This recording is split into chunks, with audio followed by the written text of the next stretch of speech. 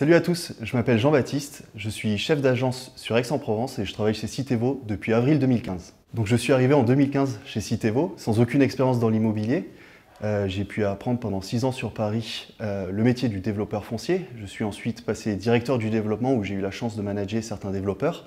Et aujourd'hui, j'ai la lourde tâche de pouvoir lancer la structure sur Aix-en-Provence. Alors ce qui me passionne euh, essentiellement dans mon métier, c'est tout l'aspect commercial, où il faut euh, sans cesse renouveler et développer un réseau d'apporteurs d'affaires.